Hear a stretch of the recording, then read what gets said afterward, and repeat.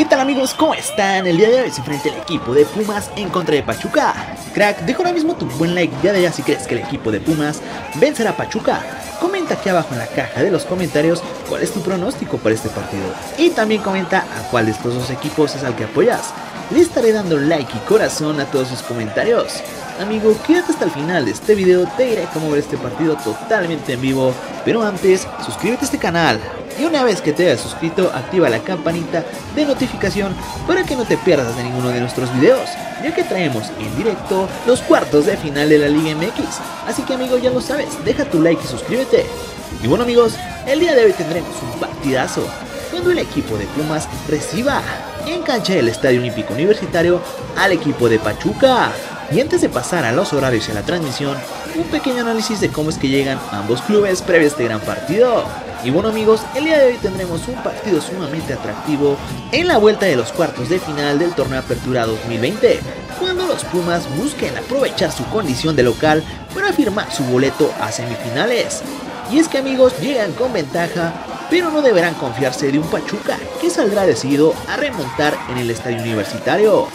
Y bueno amigos, por un lado tenemos al equipo de Pumas, tuvieron un paso impresionante jugando en casa, donde se mantuvieron invictos en 9 duelos al sumar 5 victorias y 4 partidos perdidos, por lo que el objetivo será mantener ese paso y con ello estarían en las semifinales.